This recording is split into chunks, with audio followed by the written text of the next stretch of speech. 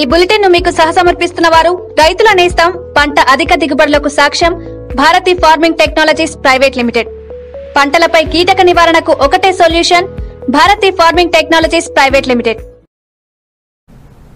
Welcome to ఏవంటివి Telugu news నేను దివ్య. వివరాలకు వెళ్తే వ్యాక్సిన్ సరఫరాలో కేంద్ర ప్రభుత్వం సహకరించడం లేదని మంత్రి ఎర్రబెల్లి దయాకరావు అన్నారు. హైదరాబాద్కు ఇతర రాష్ట్రాల నుంచి పేషెంట్స్ తాకిడి విపరీతంగా పెరిగిందని చెప్పారు. వరంగల్లో ఏడాదిలో కొత్త సెంట్రల్ జైలు నిర్మాణం చేస్తామన్నారు. ఎంజీఎంలో ఎనభై వెంటిలేటర్ బెడ్స్ అందుబాటులో ఉన్నాయన్నారు మంత్రి ఎర్రబెల్లి. వరంగల్ జిల్లాలో వ్యాక్సిన్ మందుల కొరతపై ముఖ్యమంత్రి కేసీఆర్ ప్రధానమంత్రి దృష్టికి తీసుకెళ్తారని ఆయన వివరించారు. వరంగల్ అర్బన్ జిల్లా కలెక్టర్ కార్యాలయంలో వైద్య ఆరోగ్య శాఖ అధికారులతో సమీక్షా సమావేశంలో ఆయన పాల్గొని అధికారులకు దిశానిర్దేశం చేశారు.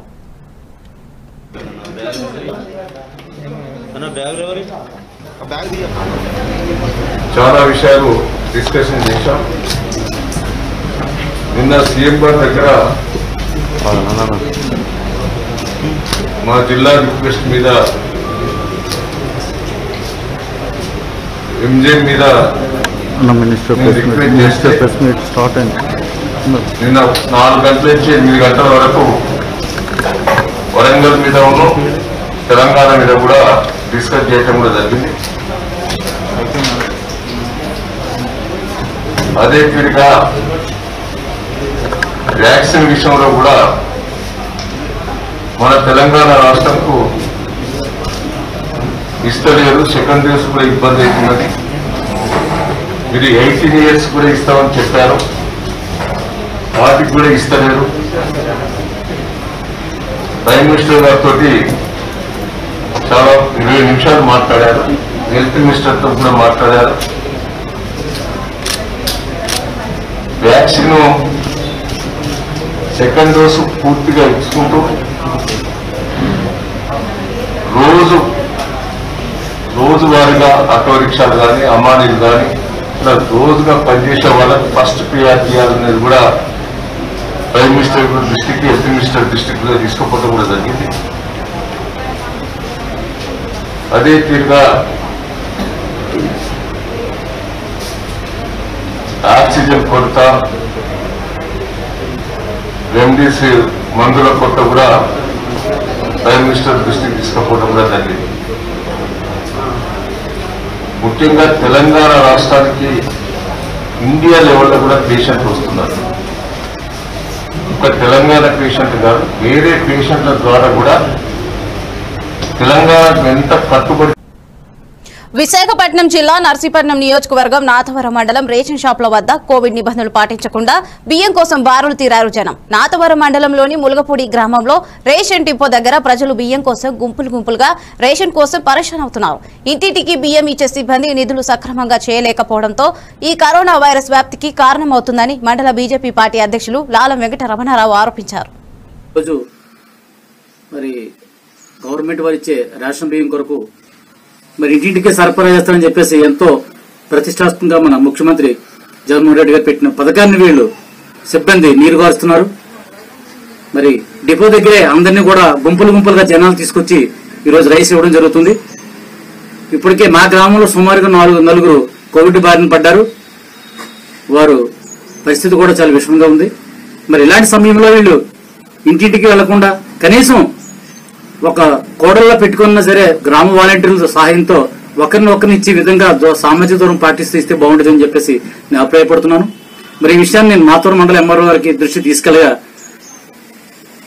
తహసీల్దార్ గారు ప్రతి ఊరికి నాలుగు పాయింట్లు చొప్పున పెట్టుకుని వాలంటీర్ సహాయంతో సామాజిక దూరం పాటిస్తూ ఇమ్మని చెప్పేసి ఆదేశాలు ఇవ్వడం జరిగింది. కానీ ఎంఆర్ఓ ఇచ్చిన ఆదేశాలు బేఖాతరు చేస్తూ ఈ రోజు వాళ్ళు కరోనా వ్యాప్తిని విస్తరించేలా ఉంది పరిస్థితి చూస్తుంటే ఈ విషయాన్ని మరి మేము చాలా తీవ్రంగా ఖండిస్తున్నాం. మరి రేపు కృష్ణా జిల్లా నందిగామ నియోజకవర్గం కంచుకచెర్ల మండలం కీసర టోల్ ప్లాజా వద్ద మూడు వందల కేజీల గంజాయిని స్వాధీనం చేసుకున్నారు టాస్క్ ఫోర్స్ పోలీసులు. పక్కా సమాచారంతో దాడి చేశారు టాస్క్ ఫోర్స్ పోలీసులు. హైడ్రా వెహికల్ వెనుక భాగంలో దాచి ఉంచిన మూడు వందల కేజీల గంజాయి ప్యాకెట్లను గుర్తించారు. శ్రీకాకుళం జిల్లా పెద్దవరం మండలం పెద్దవరం గ్రామం నుండి హైదరాబాద్ తరలిస్తున్నట్టు సమాచారం. గంజాయి తరలిస్తున్న ఇద్దరు వ్యక్తులను అదుపులోకి తీసుకున్నారు పోలీసులు. పట్టుబడిన గంజాయిని కంచుకచెర్ల పోలీస్ స్టేషన్కు తరలించారు task force SI Muralikrishna. Prayagraj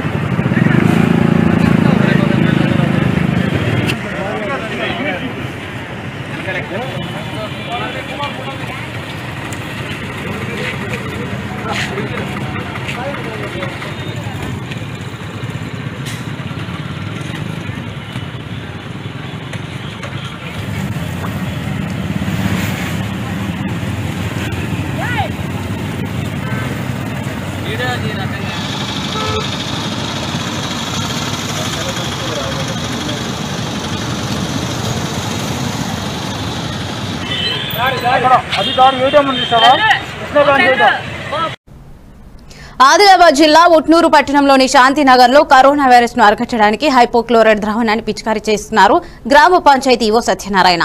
ప్రజలు గుంపులు గుంపులుగా ఉండకుండా భౌతిక దూరాన్ని పాటిస్తూ తప్పనిసరిగా మాస్కులు ధరించాలని ఆయన కోరారు.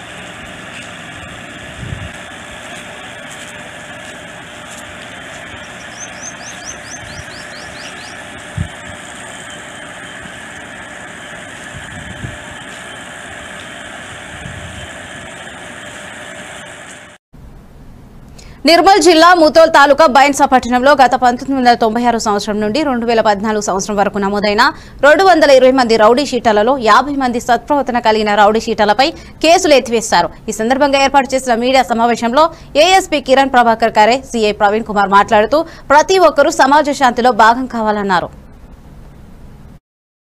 अभी तक का भविष्य में देखा जाए तो जो शॉपकीपर्स हैं, जो खेड़े गाँव के लोग हैं, उनकी काफ़ी डिमांड थी कि उनको परेशानी हो रही है। इसकी वजह से हमने डिसाइड किया कि हम एक घंटे का टाइम एक्सटेंड करें और उन लोगों को भी अच्छा सा स्टेबल होने का मौका दें। तो आज आज से कंटिन्यूस बेसिस पे इसके आगे भैंसा में एक घंटा एक्स्ट्रा टाइमिंग बढ़ेगा डिफ्रेंसिएशन टाइम रहेगा। आठ बजे तक क्लोजिंग रहेगा। साथ में ही अभी तक जो भैंसा में हुआ है, उस पर हमने पुलिस की तरफ़ से एक अनबायस प्लेयर एक एक्शन लिया हमने। इसी के अंडर हमने सीसीटीवी के अनुसार सीडीआर के अनुसार कॉल रिकॉर्ड के अनुसार हमने डिसाइड करके 73 लोगों को अरेस्ट किया है।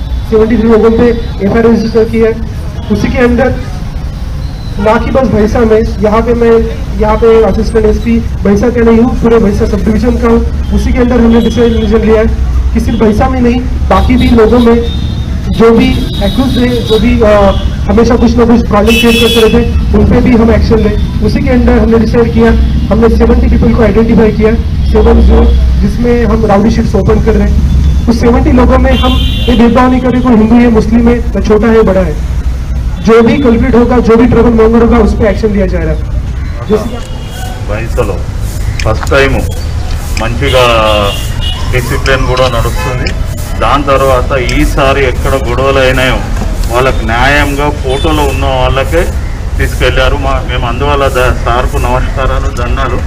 అంటే ఎవరికైనా చెడు మనిషికి ఏం చెయ్యని మనిషికి తీసుకపోక న్యాయంగా ఎవరు వీడియోలో ఉన్నారో వాళ్ళకే తీసుకెళ్ళారు సార్. ఈ వాళ్ళ మీదనే కేసులు పెట్టారు. అందువల్ల మేము ఆయనకు వందనాల దండాలు చేస్తాం సార్. మేము ఎందుకంటే మేము ఏం చేయకుండా మేము ఇంత సఫర్ అయినాం సార్. పదిహేను సంవత్సరాలు మేము ఎక్కడో ఎక్కడో తిరిగాం సార్. ఈ రౌడీ షీట్ల మీద గత పది సంవత్సరాల నుంచి అంతకంటే ముందు నుంచి కూడా ఎవరైతే సత్ప్రవర్తన కలిగి ఉన్నారో వాళ్ళందరి మీద కూడా ఈ రౌడీ షీట్ మంచి సహాయ సహకారాలు అందుతాయి అదేవిధంగా ఎవరైతే కావాలని సమస్యను సృష్టించాలని కావాలని గొడవలు చేయాలని గొడవల్లో ఇన్వాల్వ్ అయ్యి మరీ వాటిని పెద్ద చేయాలని బహింసాలో ఉన్నటువంటి శాంతిని తీసేయాలని ఇట్లా చూసినట్లయితే వాళ్ళ మీద ఇంకా ఎక్కువ ఉక్కుపాదం కేంద్ర రాష్ట్ర ప్రభుత్వాలు కోవిడ్ నియంత్రణలో విఫలమయ్యాయని వైఎస్ఆర్ తెలంగాణ పార్టీ నాయకుడు ఏవూరి సోమన్ ఆరోపించారు. ప్రజలు ఎవరికి వారే తగు జాగ్రత్తలు తీసుకోవాలంటూ మనోధైర్యంతో ఉన్నప్పుడే కోవిడ్ను జయించగలమన్నారు. తెలంగాణ ప్రజల ఆశలను ఆకాంక్షలను వైఎస్ఆర్ తెలంగాణ పార్టీ నెరవేర్చడానికి ముందుకు వస్తుందన్నారు ఏవూరి సోమన్న. మిత్రులారా ఇలా రాష్ట్రం దేశం ప్రపంచమే కరోనాతో మరొకసారి కరోనా విలయతాండం చేస్తూ ఉంది. అనేక మంది మేధావులు బుద్ధిజీవులు ప్రజలకు ఉపయోగపడేటవలసినటువంటి వాళ్ళు వేలాది మంది లక్షలాది మందిగా ప్రాణాలు కోల్పోతున్నటువంటి సందర్భం. మరి ముఖ్యంగా ఉద్యమకారులు కవులు గాయకులు జర్నలిస్టులు సాధారణ మానవులు వీళ్ళందరూ చనిపోతూ ఏ వార్త చూస్తే ఏ టీవీలో చూస్తే ఏ వార్త వస్తుందో ఏ ఛానల్లో ఏమొస్తుందో చూసేటువంటి భయపడాల్సినటువంటి పరిస్థితిలో ఈ రాష్ట్రంలో మనం జీవిస్తూ ఉన్నాం కనుక ఈ పాలకుల పుణ్యమాని ఆల్రెడీ కోవిడ్ ఒకసారి వచ్చిపోయింది. వచ్చిన కోవిడ్ను కనీసం కంట్రోల్ చేసుకోలేనటువంటి దౌర్భాగ్య స్థితిలో ఇలా కేంద్ర రాష్ట్ర ప్రభుత్వాలు ఉన్నాయి. నాకు కూడా కరోనా వచ్చింది మళ్ళీ నెగిటివ్ వచ్చింది. నేను ఇప్పుడిప్పుడే కోలుకుంటున్నాను. ప్రజలందరి ఆశీర్వాదంతో నేను మంచిగా ఉన్నాను ఆరోగ్యంగా ఉన్నాను. తెలంగాణ జాతీయ మజ్దూర్ యూనియన్ ఆధ్వర్యంలో అన్ని డిపోల ముందు చనిపోయిన ఆర్టీసీ ఉద్యోగుల ఆత్మకు శాంతి కలగాలని ఎర్ర రిబ్బన్ ధరించి రెండు నిమిషాలు మౌనం పాటించారు. వికారాబాద్ జిల్లా పరిగిలో జరిగిన ఆందోళనలో తెలంగాణ జాతీయ మజ్దూర్ యూనియన్ రాష్ట్ర ప్రధాన కార్యదర్శి హనుమంతు ముదిరాజ్ మాట్లాడారు. తెలంగాణ ఆర్టీసీపై సీఎం కేసీఆర్కు ఎలాంటి చిత్తశుద్ధి లేదని టీఎస్ఆర్టీసీలో కార్మికులు అనేక ఇబ్బందులకు గురవుతుంటే ఎలాంటి స్పందన లేదని ఆరోపించారు.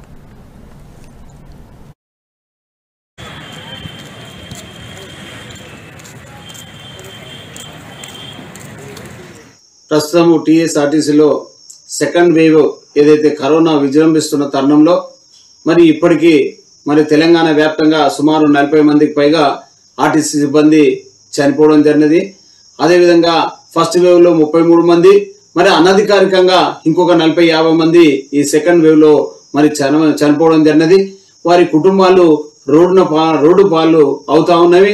మరి ప్రభుత్వం ఇప్పటికి కూడా ఆర్టీసీ సిబ్బంది ఎవరైతే ప్రజా సేవ చేస్తూ ప్రజలకు సేవ చేస్తూ రోజు నిత్యం డ్యూటీ ఎవరైతే చేస్తున్నారో వారికి మరి శానిటైజర్లు కానీ మాస్కులు కానీ ఫేస్ గార్డులు కానీ అదేవిధంగా మన ఏవైతే మాకు కావాల్సినటువంటి చే- చేతులకు గ్లౌజులు కానీ ఎటువంటి కూడా మరి సమకూర్చడం లేదు.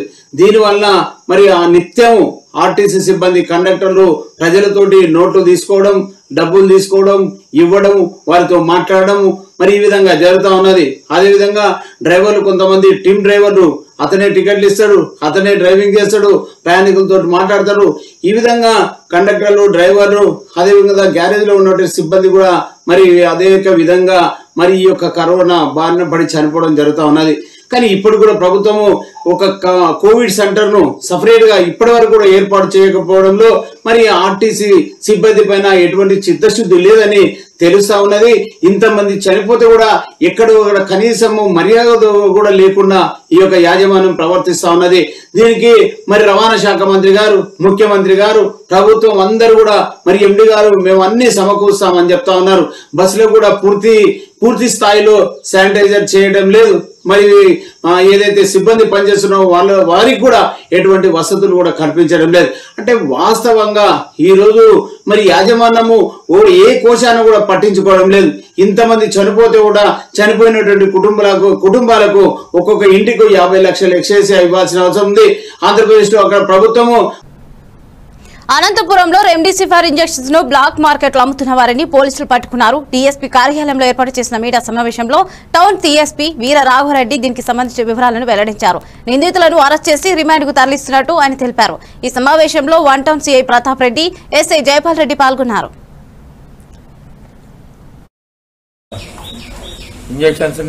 మిస్యూజ్ చేస్తూ మిగతా రాజేష్ విశ్వనాథ్ రెడ్డి ద్వారా బ్లాక్ మార్కెటింగ్ చేస్తూ పట్టుబడినారు.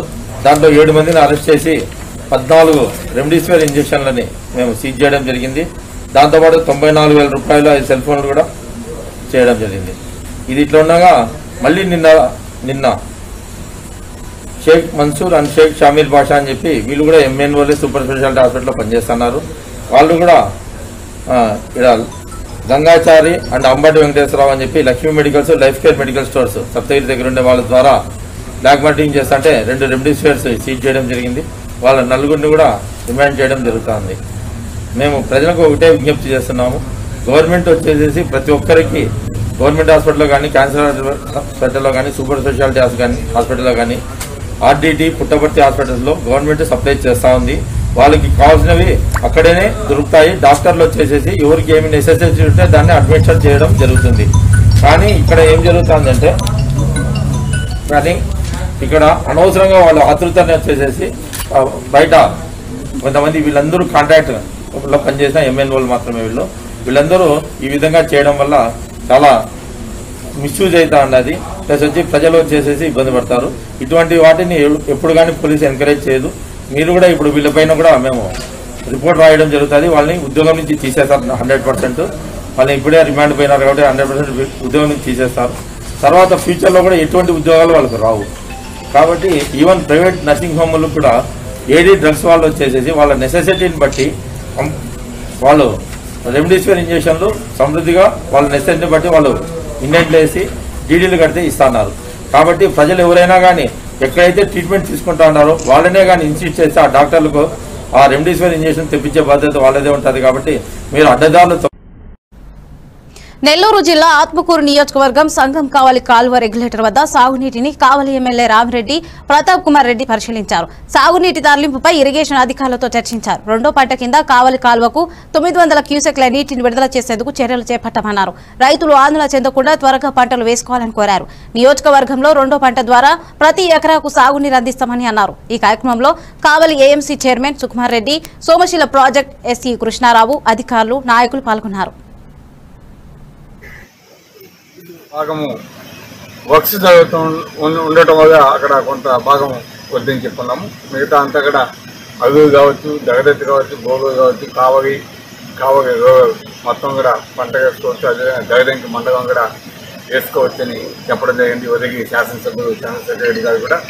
దానికి సంబంధించి ఈరోజు కావగి కావ కావకి తొమ్మిది వందల ఫిజిక్స్ రేపటి నుంచి నీళ్ళు వదలతామని ఎస్సీ గారు కూడా మాట ఇచ్చారు కాబట్టి ఆ నీటిని చిట్ట చివరి చెరువుకి కూడా నీరు పెట్టుకునే విధంగా అదేవిధంగా ఎస్సీపీఎంకి ఒక రెండు వందల యాభై క్యూసిక్స్ నీరు వదిలే విధంగా ఈరోజు అరేంజ్మెంట్ చేసాం. అదేవిధంగా ఎస్కేప్ కార్డ్ నుంచి కూడా గౌరవం మీద ఇక్కడ కొంచెం నీరు ఇచ్చేదానికి కూడా ప్రయత్నాలు చేస్తాను. ఎక్కడ కూడా రైతులకి ఇబ్బంది కాకుండా రెండో పంటకి పూర్తిగా నీరు ఇవ్వాలన్నదే మా ధ్యేయం. ఈరోజు ప్రభుత్వం కూడా దానికి సంబంధించి జగన్మోహన్ రెడ్డి గారు కూడా ఇరిగేషన్ నిర్మల్ జిల్లాలో నలభై ఐదు సంవత్సరాలు పైబడిన వారికి తొంభై శాతంపై ఫస్ట్ డోస్ కంప్లీట్ చేశామని నిర్మల్ జిల్లా కలెక్టర్ ముషారఫ్ షారుఖ్ అన్నారు. అలాగే సెకండ్ డోస్ తీసుకున్న వారు ఇప్పటి వరకు ఇరవై శాతం వరకు కంప్లీట్ చేశామని ఆయన వివరించారు. మిగిలిన వారికి ఆరు వారాల తర్వాత కంప్లీట్ చేయడం జరుగుతుందన్నారు. జిల్లాలో ఎక్కడా కూడా ఆక్సిజన్ కొరత లేకుండా చూస్తామన్నారు. రెండిసర్ ఇంజక్షన్లు పేషెంట్ కండిషన్స్ చూసి అవసరమైన వారికి ఇస్తున్నామన్నారు. ఏరియా ఆసుపత్రి సూపరింటెండెంట్ దేవేందర్ రెడ్డి. నిర్మల్ జిల్లా ప్రభుత్వ ఏరియా ఆసుపత్రిలో మనం ఉన్నాము. దీనికి సంబంధించిన ఏరియా ఆసుపత్రి సూపరింటెండెంట్ డాక్టర్ దేవేంద్ర రెడ్డి గారు మనతో ఉన్నారు. ప్రజెంట్ మనం నిర్మల్కి సంబంధించినటువంటి కోవిడ్ వార్డులో ఉన్నాము. ఇక్కడ పేషెంట్లకు ఎలాంటి చికిత్స అందిస్తున్నారు? మరి ఎలాంటి వాళ్ళకి వైద్యం అందిస్తున్నారో ఇక్కడ ఉన్నటువంటి డాక్టర్ని అడిగి మనం తెలుసుకుందాం. ఓకే డాక్టర్ గారు నమస్తే. సో ఇప్పుడు నిర్మల్ జిల్లాలో మన కోవిడ్ ఆసుపత్రికి సంబంధించి మన ఏరియా ఆసుపత్రిలో ఇప్పటివరకు మనకు ఎంతమంది పేషెంట్స్కి మనము రికవర్ అయ్యారు? ప్రజెంట్ మనకి ఎంతమంది పేషెంట్స్ మన వార్డులో ఇప్పుడు ఉన్నారు? మా నిర్మల్ జిల్లా ప్రభుత్వ ఆసుపత్రి నందు మొదటి వేవ్లో దగ్గర దగ్గర ఎనిమిది వందల మందికి మనం ట్రీట్మెంట్ ఇచ్చాము. దాంట్లో దాదాపు నైంటీ నైన్ పర్సెంట్ రికవరీ రేట్తో అందరు బయటకు వెళ్ళారు. కానీ సెకండ్ వేవ్ చాలా ఎక్కువ మోతాదులో సడన్గా రావడం వల్ల మనం ఆల్రెడీ మనం ముందు ప్రిపరేషన్లో ఉన్నాం కాబట్టి మనం ఆల్రెడీ వచ్చిన పేషెంట్ అడ్మిట్ చేసుకోవడం ఇప్పటి వరకు వన్ మంత్లో దగ్గర దగ్గర నాలుగు వందల కేసులు మనం అడ్మిట్ చేయడం జరిగింది. నాలుగు వందల్లో ఒక ఎనిమిది కేసులు మనం రిఫర్ చేయడం జరిగింది. ఒక ముప్పై నుంచి ముప్పై ఐదు వరకు గల డెత్ రేట్ అంటే దగ్గర దగ్గర ఒక five two six percent death rate జరిగింది. దానికి కూడా కారణం ఏంటంటే వాళ్ళు లాస్ట్ స్టేజ్లో అంటే బయట హాస్పిటల్ అంది ట్రీట్మెంట్ తీసుకొని లాస్ట్ మూమెంట్లో మన ఏరియా హాస్పిటల్కి రావడం ఆక్సిజన్ పెట్టి వాళ్ళని చేయడం ఒక వన్ టూ డేస్ వాళ్ళు డెత్ కావడం. అంటే ఎండ్ స్టేజ్లో తీసుకొచ్చి ఇక్కడ పెట్టడం వల్ల మాకు ఆ డెత్ రేట్ అనేది నమోదైంది. అదర్వైజ్ దగ్గర దగ్గర నైంటీ ఎయిట్ పర్సెంట్ రికవరీ రేట్తో అందరూ ఇప్పటివరకు మంచిగానే వెళ్తున్నారు. ముఖ్యంగా మన జిల్లా ఆసుపత్రి ఎందు యాభై ఐదు బెడ్ల ఐసోలేషన్ వాడు తయారు చేసాం పది బెడ్ల ఐసీయూ తయారుంది. దగ్గర ముప్పై ఐదు బెడ్ల ఆక్సిజన్ బెడ్స్తో మనం అంతా రెడీ చేసుకొని మన నిర్మల్ జిల్లా ఆసుపత్రికి వరం ఏంటంటే మంత్రివర్యుడు అల్లల ఇంద్రకరణ్ గారు మరియు జిల్లా కలెక్టర్. వాళ్ళు ఎల్లవేళలా మనని ప్రోత్సహిస్తూ మనకు కావాల్సినటువంటి వస్తువులన్నీ కూడా ఏమైనా ఇన్స్ట్రుమెంట్స్ కావచ్చు ఆక్సిజన్ అయితేనేమి ఏదైనా ఇమీడియట్గా సార్ ఆ- ఆక్సిజన్ కొరత ఏం లేదు కదా? ఆక్సిజన్ కొరత స్టార్టింగ్లో మనకు పది రోజులు చాలా ఇబ్బందిలో ఉన్నట్టుంది దాన్ని ఇమీడియట్గా మంత్రి గారి దృష్టికి తీసుకెళ్ళ వెళ్ళడము. కానీ ఇమీడియట్గా చర్య తీసుకొని జిల్లా నిజామాబాద్ జిల్లా కలెక్టర్తో మాట్లాడి ఇమీడియట్గా మన జిల్లా కలెక్టర్తో ఎస్కార్ట్ ఇచ్చి డైలీ ఇప్పుడు ఇరవై సిలిండర్లు మనం తెప్పించుకోగలుగుతున్నాం అంటే దానికి మన మంత్రి వాళ్ళ అల్లల ఇంద్రకరణ్ గారికి మా హాస్పిటల్ తరఫున ధన్యవాదాలు తెలుపుకుంటున్నాం. రాకేష్. ఎక్కడ ఏ- ఊరు నుంచి వచ్చారు? అప్పారావుపేట నుండి వచ్చినాము ఇక్కడ చాలా మంచిగా ట్రీట్మెంట్ ఇస్తున్నారు Devendra sir. Time to time వస్తున్నారు తెలుసుకుంటున్నారు. ఎలా ఉంది మీ ఆరోగ్యం ఎంతవరకు బాగుంది ఏంటి దాని విధంగా చూసుకొని ట్రీట్మెంట్ ఇస్తున్నారు సార్. ప్రతి రోజుకు మూడు సార్లు వస్తున్నాడు వచ్చి అన్ని సదుపాయాలతోటి చాలా బాగా చూసుకుంటున్నాడు. చాలా హెల్దీగా ఉన్నాం ఇప్పటివరకు అయితే చాలా బాగుంది సార్. సో నిర్మల్ ప్రభుత్వ ఏరియా ఆసుపత్రి కోవిడ్ వార్డులో ఉన్నాము. ఇక్కడ మనం చాలామంది మరి పేషెంట్స్తో మనం మాట్లాడడం జరిగింది. అందరికీ మంచి చికిత్స అందిస్తున్నారని మేము రికవర్ అవుతున్నామని చెప్పేసి ఇక్కడ పేషెంట్లు చెప్తున్నారు. నిర్మల్ నుంచి ఏవన్ టీవీ రాజేంద్ర. సార్ ఇప్పుడు నిర్మల్ జిల్లాలో ఈ కోవిడ్కి సంబంధించినటువంటి ఏదైతే టీకా వ్యాక్సినేషన్ వేసుకుంటున్నారో ఇప్పటి వరకు సార్ మనకు జిల్లాలో ఎంతమంది వ్యాక్సినేషన్ చేసుకున్నారు? అంటే ఫస్ట్ డోస్ కానీ సెకండ్ డోస్ కానీ అలాగే ఆక్సిజన్కి సంబంధించినటువంటి కొరత ఏమైనా ఉందా? పేషెంట్లకు ఎలాంటి ఇబ్బందులు లేకుండా ఎలా జాగ్రత్తలు తీసుకుంటున్నారు? కొద్ది వివరంగా ఇవ్వండి సార్. నిర్మల్ జిల్లాలో ప్రస్తుతము మనం ఫార్టీ ఫైవ్ ఇయర్స్ ఎక్కువ ఉన్న మందిలో ఎయిటీ పర్సెంట్ వరకు ఫస్ట్ డోస్ కంప్లీట్ చేసినాము. అలానే సెకండ్ డోస్ వరకు వస్తే మనం దాదాపు ట్వంటీ పర్సెంట్ మెంబర్స్కి మనం సెకండ్ డోస్ కంప్లీట్ చేసినాము. మిగతా మెంబర్స్కి యాజ్ అండ్ వన్ వాళ్ళకు సిక్స్ వీక్స్ టైం అయిపోతే అప్పుడు తప్పకుండా వాళ్ళకి సెకండ్ డోస్ కూడా కంప్లీట్ చేయడం జరుగుతుంది. అని ఈ ఎలిజిబుల్ పాపులేషన్లో చాలామందిని మోటివేట్ చేసి ఊర్లలో వెళ్ళి వాళ్ళని పిలిపించి పిలిపించి మేము ఎయిటీ పర్సెంట్ కవర్ చేసినాము. దాంట్లో చాలామంది ఇంకా కూడా ట్వంటీ పర్సెంట్ పాపులేషన్ మిగిలిపోయారు. వాళ్ళని కూడా మోటివేట్ చేయడానికి ప్రయత్నాలు చేస్తున్నాము. కానీ ప్రస్తుతము మనకు వ్యాక్సినేషన్ అన్ని సెంటర్లలో ప్రతి పిహెచ్సిలో అలానే మన ఏరియా హాస్పిటల్లో కూడా వేయడం జరుగుతుంది. సో పబ్లిక్ వ్యాక్సినేషన్ కొరత ఏమీ లేదు. మనకు వ్యాక్సిన్ టైమ్లీ వస్తుంది. ఈ లాస్ట్ మంత్ వేసిన వాళ్ళకు సిక్స్ వీక్స్ అయిన తర్వాత వాళ్ళు కూడా తప్పకుండా సెకండ్ డోస్కి అవకాశం ఉంటుంది.